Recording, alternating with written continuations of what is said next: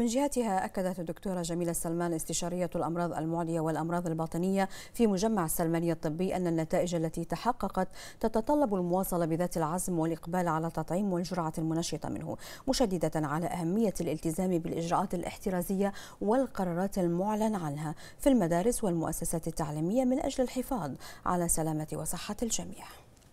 نحب نأكد أن النتائج اللي توصلنا إليها في مملكة البحرين والتي تحققت تتطلب المواصلة بنفس وبذات العزم والإقبال على التطعيم وعلى الجرعة المنشطة منه لما أثبتت منا المعلومات الموجودة عندنا في مملكة البحرين وعلى المستوى العالمي من فعالية التطعيمات الموجودة والجرعات المنشطة.